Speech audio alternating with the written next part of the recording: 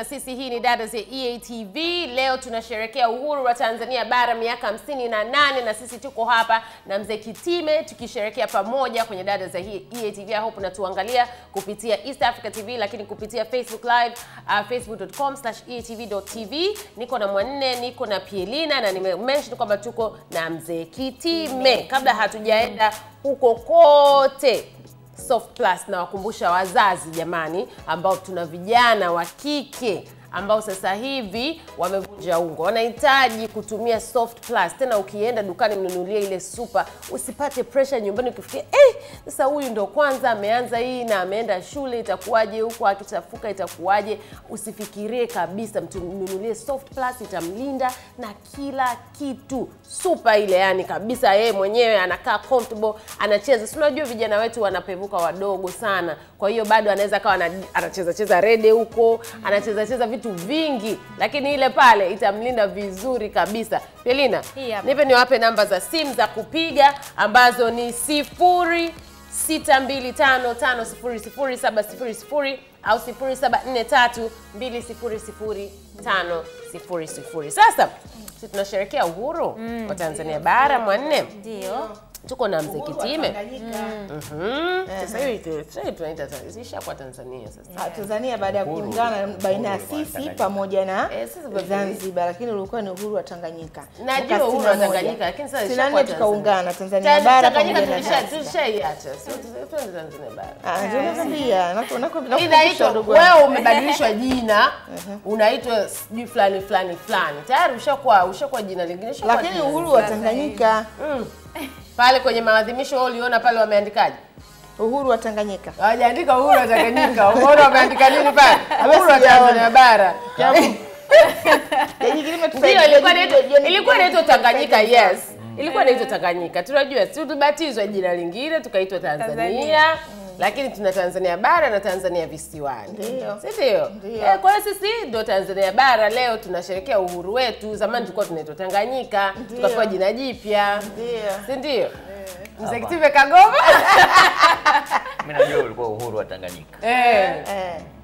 Haya basi Sema Tanzania bara uko unajaribu kucheza kisiasa. Eh. lakini fact ni kwamba ulikuwa uhuru wa Tanganyika. That's Okay. fact. Sawa. Uh, tuongelee basi uh, biashara ya mziki uh, mpaka sasa hivi imenu, ili- ime- imenu, imenufaika vipi na uhuru? Tumepata uhuru miaka hamsini na nane iliyopita mpaka sasa miaka hamsini na nane mzee Kitime, nyinyi mmeanza mziki zamani sana zamani sana zamani sana.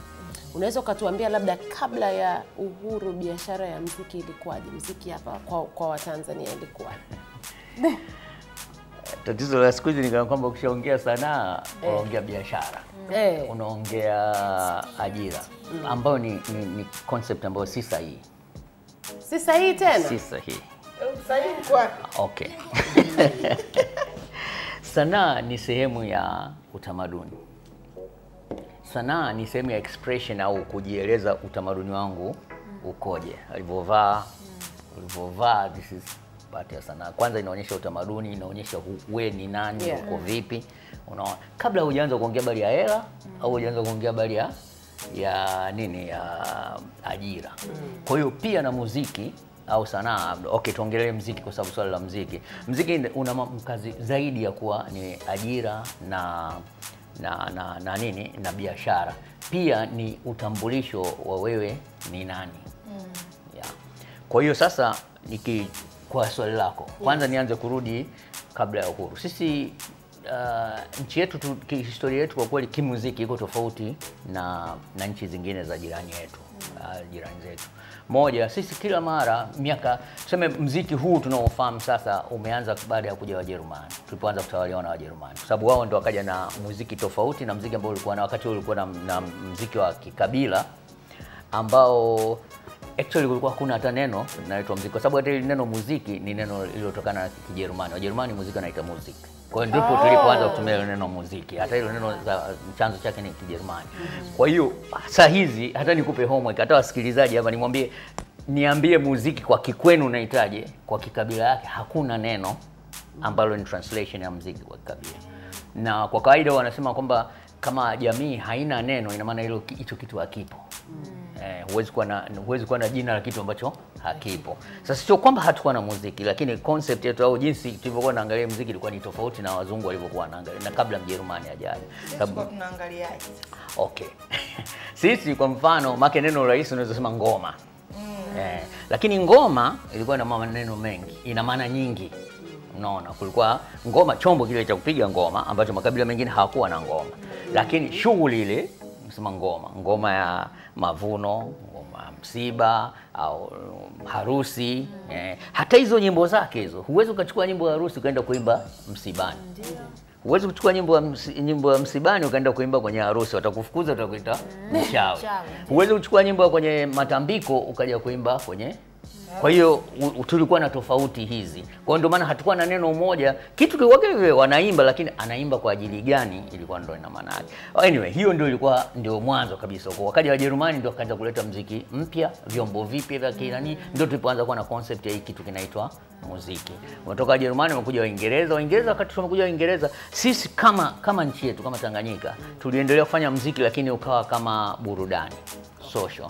Kwa hiyo watu walikuwa wanatoka, utakuta mpaka leo kwenye taarabu utasikia naenda klabu eh, kwamba naenda, yani ilikuwa ni kama social clubs. Kwa hiyo hata bendi zingine za zamani zote, sijui Kilwa Jazz, Western, wote walikuwa na klabu. Dar es Salaam Jazz wa, mchana wanafanya kazi, jioni saa kumi wanaenda club. Nchi nyingine kwa mfano nichukue Kongo. Kongo walianza toka mwaka 1947 wakaanza kuwa na record label. Record label ya kwanza ya Loningisa ilianza mwaka 1947. Kwa hiyo kutoka 47 wao wakaanza kufanya kama biashara na ndio maana system yao mpaka leo it's much older, kila mara wanakuwa mbele yetu, kwa sababu sisi historia yetu iko tofauti kidogo. Katika East Africa, Kenya ndio ilikuwa nchi ya kwanza kupata record label. Mwaka 52 akaja Mdanish mmoja akaanzisha kampuni ikawa na record label, akaanza Jambo Records na East African Records. Kwa hiyo wao wakaanza kufanya records. Huku Tanganyika tuliendelea kufanya muziki kama burudani. Mm. Mm. In fact sisi tumekuja kubadilika baada ya vita zile za Kongo mwaka 60 Kongo walipata uhuru mwezi Mei, lakini kufikia miezi minne baadaye wakawa wameshamua waziri wao mkuu Lumumba. Eh, kwa hiyo wakaanza na vita ambao mpaka leo hawajapata solution. Kwa hiyo wakaanza tukaanza kupata wakimbizi kutoka Kongo kuja kuja kwetu huku. Kati ya wakimbizi wakawa na muziki. Walipokuja pale sasa sasa wakawa tunaanza kushangaa na mziki toka asubuhi wanafanya mazoezi, jioni wanapiga muziki. Yaani wanaishi kwa muziki, muziki. tu, lakini sisi ilikuwa hamna mtu anaishi kwa muziki tu, ulikuwa na kazi. Shambani. hapo hapo kwenye story hii Yeah. Nzuri kweli Yeah. wakati tuna, tunaenda kwenye social clubs ukifanya kazi afu baadaye enda kwenye social clubs hizo social clubs watu walikuwa wanaingia bure Social, ni- zilikuwa ni club watu wanaingia bure. Watu wanaingia bure. Eh, wewe ndio una, una mawazo ya hela siku. Lakini kwa hiyo sasa nimefikia mwaka 60 60s ambapo ndio karibu na uhuru. Kwa hiyo hata tulipoanza karibu na uhuru, zile bendi za kwanza nyingi zilikuwa ni za kama nakodishwa kwenye harusi kwenye, lakini hela ni kidogo, na sio kwamba wale wanamuziki ilikuwa maisha yao wanategemea music. Tumeanza uh, miaka minne mitano ya kwanza ya uhuru, tukaja kuingia siasa ya ujamaa. Siasa ya ujamaa tena kabisa ndio ikawa kwamba sanaa ni kitu cha kutoa burudani baada ya saa za kazi, na in fact wakaanza kuencourage mashirika ya umma uh, majeshi yakaanza kuona na vikundi vya sanaa ambavyo kazi yake ilikuwa ni kutoa burudani, sio kufanya biashara, na pili na pia na, ku, na kuendeleza utamaduni wetu.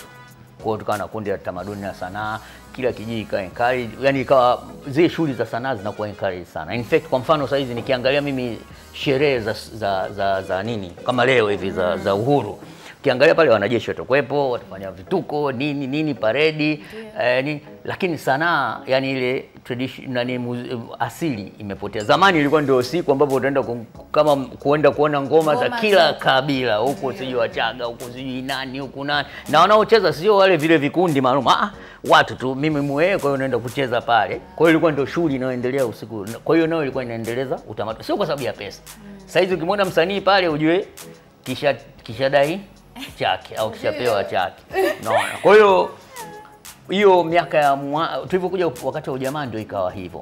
Na actually tumeanza kuwa na label recording re, re, record label ya kwanza kwenye 1968 69 wakati serikali ilipotengeneza kampuni inaitwa Tanzania Film Company ambayo ilikuwa inatoa records na kutengeneza filamu, ndio ile ikatoa santuri chache na ilitaka kwenda mbele, wakajenga mpaka kiwanda hapo ambapo kiko chuo saizi cha waandishi wa habari Mikocheni.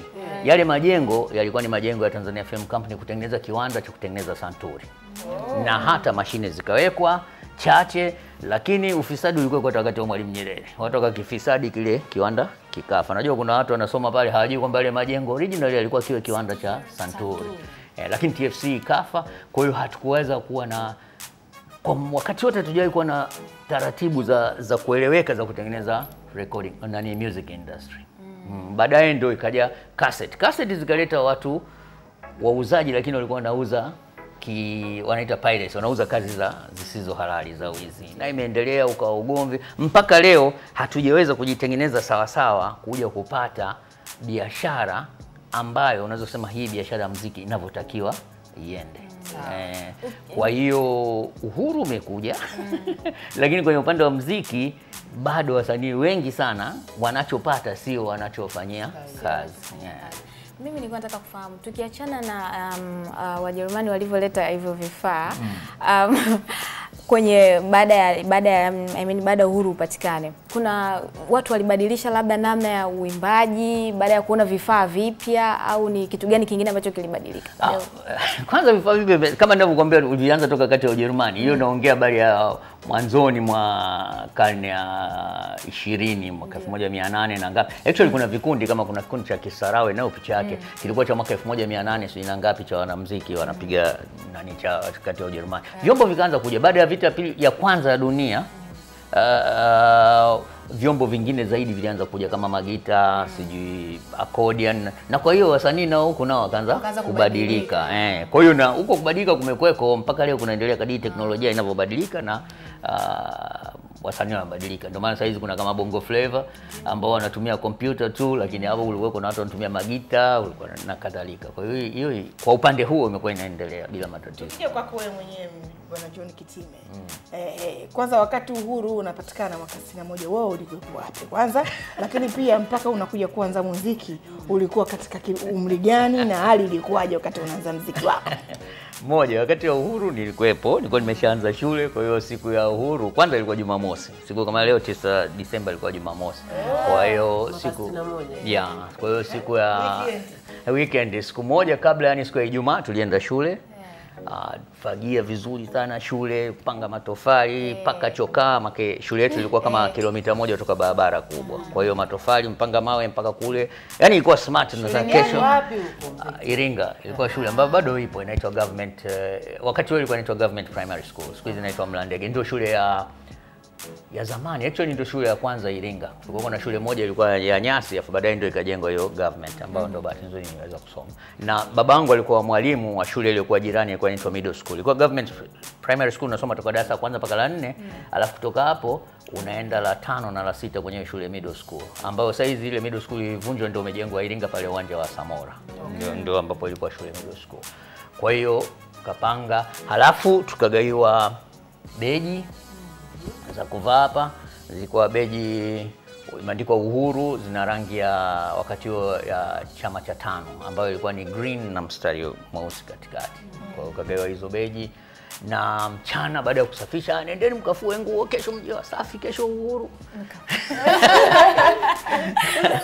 Enda kufua, kesho yake sikumbuki hapo ni sasa na, na sin, sina kumbukumbu, lakini sidhani kama tulikuwa na maandamano. Eh, lakini nakumbuka. Ma, kila kwa hiyo kila watu na mkoa wake walikuwa wanafanya maadhimisho huko. Kwa wakati ule sikuwa na concept hiyo mkoa, ni- nilikuwa na concept ya uh, pale mwenye shule. Jumamosi hiyo mlienda shule. Shu- tulienda tulienda uwanja, kulikuwa na kiwanja cha Bomani, kilikuwa kinaitwa Bomani ambacho sasa hizo wanaita Garden pale, maana ndio ilikuwa uwanja mkubwa wa shughuli zote, sasa sherehe zote zilikuwa zinafanyika pale. Eh, kwa hiyo kakakaa, baadaye nikarudi. Nakumbuka usiku baba mama aliondoka, alienda sema sijui kuna dansi nini. Kwa hiyo hivyo ndio vitu vega ambavyo la kwanza Alikuwa la kwanza. Tuta eh, una kumbukumbu nzuri. Mimi mimi vitu vya darasa kwanza hata sivikumbuki vizuri. na bahati na bahati mbaya au tuseme mimi kwangu naita nzuri, babangu alikuwa naita mbaya. Babangu alikuwa kumbuka vitu alikuwa akiwa na miaka mitatu vilivyokuwa vinaongea. Mimi nakumbuka vitu na miaka mitatu sam na miaka minne mpaka miaka minne nakumbuka vitu vingi tu.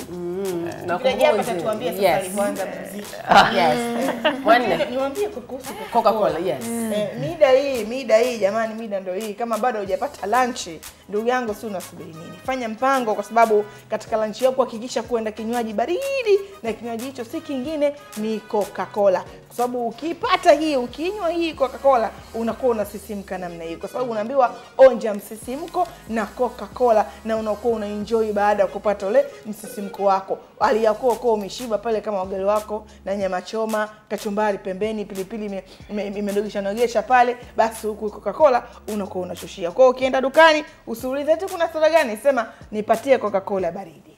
Ndio. Eh.